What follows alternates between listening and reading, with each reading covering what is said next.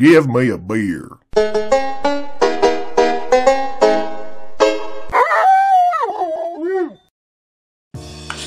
Alright, this is Billy Bob Tanley here, people.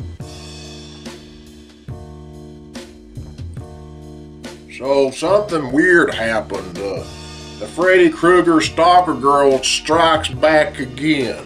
But this time she didn't kidnap me like she did a while back.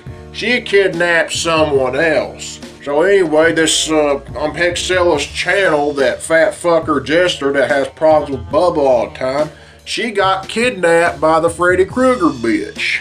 What the fuck?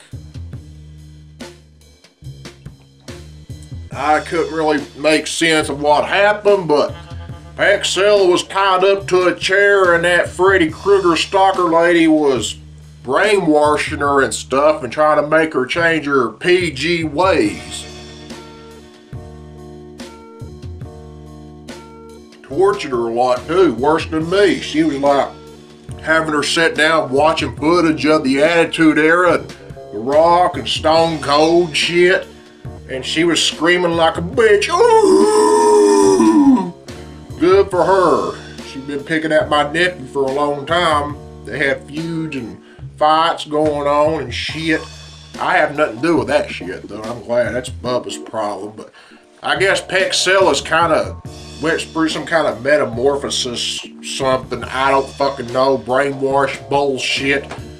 You all have to go watch the video for yourselves. I don't know what the hell really happened.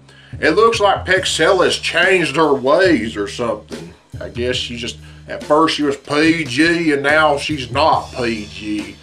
I don't fucking know. I don't care, but I have to come on here and address this shit because that's the same girl that kidnapped me kidnapped Peckcella Von Peter.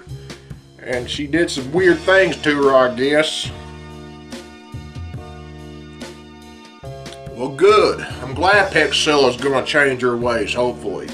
Bullshit fucker. Freddy Krueger, Bray Wyatt motherfucker kidnapped her and tortured her with attitude footage. Hopefully Peckcella's turned over a new leaf.